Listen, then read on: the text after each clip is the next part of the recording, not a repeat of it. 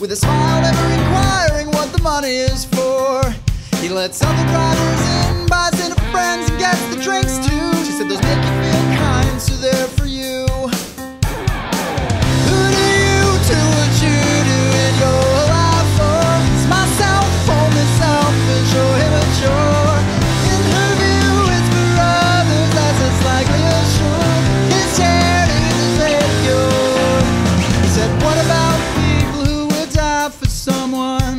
Like a parent or a soldier, give their lives for someone.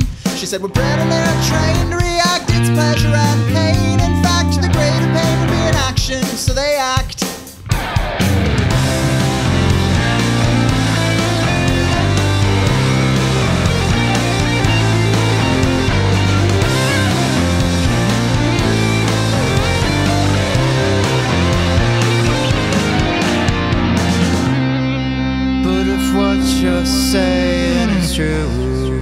How would God repay us? And if what you're saying is right, we just live in chaos. Are we all just insane? It all sounds so profane.